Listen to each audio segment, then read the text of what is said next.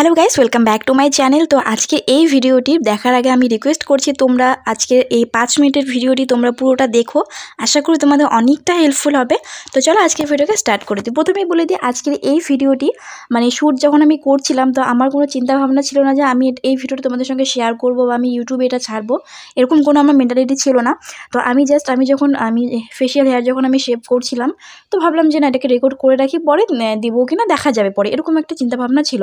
তো কোয়ালিটি দেখে বুঝতেই পারছ, না কোনো ব্যাকগ্রাউন্ড না কোনো কিছু। আমি জাস্ট নর্মাল আমি আমার বিছানায় বসে বসে জাস্ট আমি এটা করছিলাম, তোমাদের সঙ্গে মানে ক্যামেরার সামনে রেখেছিলাম মোবাইলটা অন করে যে হলে হবে, না হলে না এরকম একটা চিন্তা ভাবনা ছিল।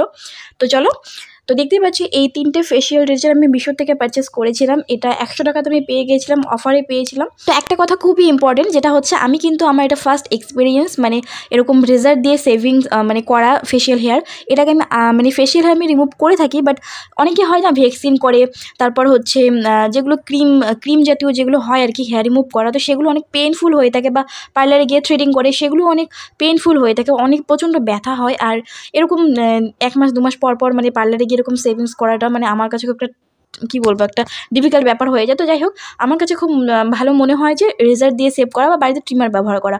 তো আগে পরে আমি কিন্তু ট্রিমার দিয়ে আমি সবসময় ব্যবহার করে থাকি আমি ফেশিয়াল হেয়ার রিমুভ করার জন্য। এই মানে রেজার দিয়ে এটা হচ্ছে আমার ফার্স্ট টাইম এক্সপিরিয়েন্স তো প্রথমে যেটা করতে হবে, তোমাদের ফেসটাকে ভালো করে ক্লিন করতে হবে। আই মিন তোমরা ফেস ওয়াশ করে নাও। ফেস ওয়াশ করার পর তোমাদের ফেসটাকে ভালো করে একটু করে ভিজিয়ে নাও। মানে হালকা ভিজিয়ে নাও, সেটা তোমরা টোনার অ্যাপ্লাই করতে পারো।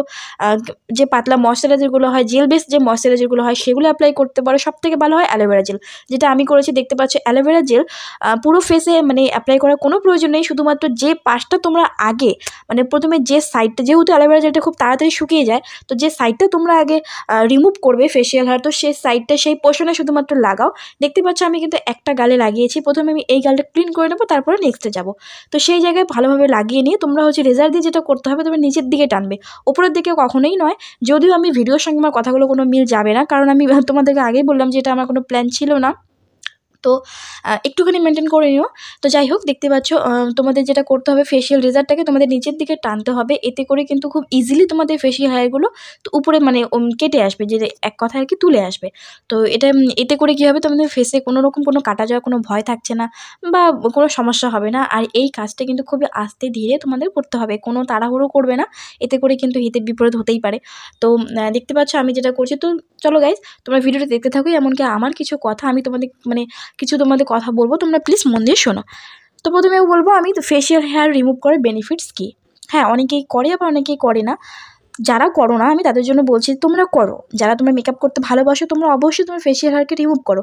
ফেশিয়াল হেয়ার রিমুভ করার হচ্ছে একটাই কারণ, তোমাদের ফেসটা অনেকটা ক্লিন দেখাবে নিট অ্যান্ড ক্লিন দেখাবে অনেকটা। তোমাদের স্কিনের যে কালার রয়েছে, তার থেকে তোমরা আরেকটুখানি মানে উজ্জ্বল দেখাবে তোমাদের মুখ। আর সব থেকে বড়ো কথা হচ্ছে, তোমরা যখন মেকআপ করবে, তোমাদের ফাউন্ডেশনটা খুব ইজিলি ব্লেন্ড হয়ে যাবে। একটা স্মুথ বেস তৈরি হবে, একটা ফ্ললেস বেস তৈরি হবে। যদি তোমাদের ফেসের মধ্যে এরকম ফেশিয়াল হেয়ার থাকে, তো সেক্ষেত্রে কী হয় তোমাদের মেকআপ কিন্তু লং লাস্টিং হয় না, এমনকি মেকআপ যখন তোমরা ব্লেন্ড করো, একটা ভেজা ব্লেন্ডার নাও, তোমরা ব্রাশ নাও, কোনোভাবে কিন্তু ব্লেন্ড হতে চায় না, তোমাদের ফেসটা অনেকটা খুব ফ্যাকাশে দেখা যায়। তো এটা একেবারে দেখতে বিচ্ছিক লাগে আর মেকআপটা অনেকটা কেকি হয়ে যায়। তো তার জন্য সবথেকে ভালো যেটা হয়, তোমরা ফেসিয়ালকে রিমুভ করো, সেটা তোমরা অনেক পদ্ধতিতে করতে পারো।